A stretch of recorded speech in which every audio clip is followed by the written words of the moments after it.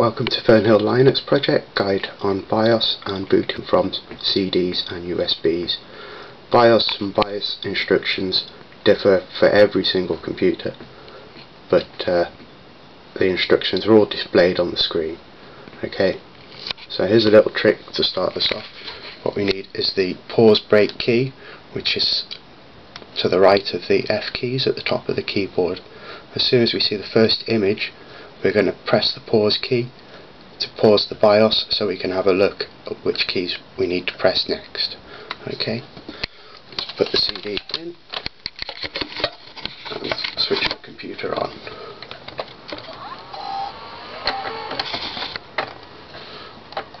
Press pause break now. Okay, you can probably see it at the bottom of the screen there's instructions which keys to press. F2 to set up go to Setup Utility and F12 to go to Boot Manager.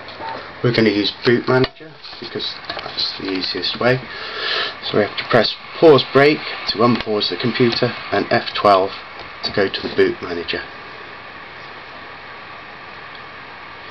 Okay, so now you can see we're at the Boot Manager. If we were going to boot from USB, we'd simply press enter. But as we want the CD we'll move down to CD and press enter to boot from CD. Okay, so there we go, booting from CD. I'm going to switch the computer off now at this point. Switch it back on. And the other way is to change the boot order. We're going to press F2 this time to enter the BIOS.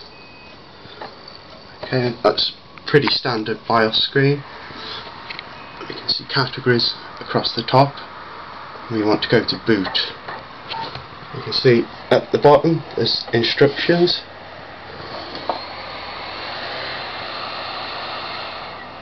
Okay, so we need to use the left and right arrows to select a menu. So we'll do that now. We're on the boot menu.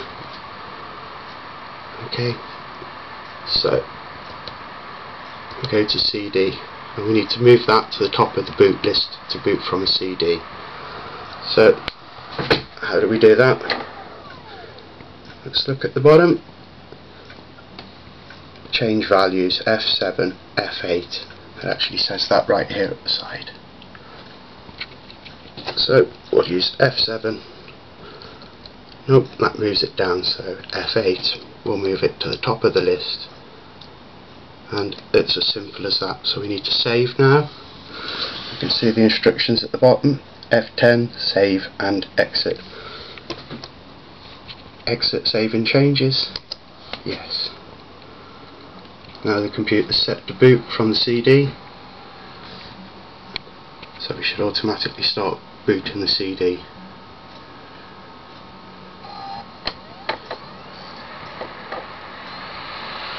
okay there we go.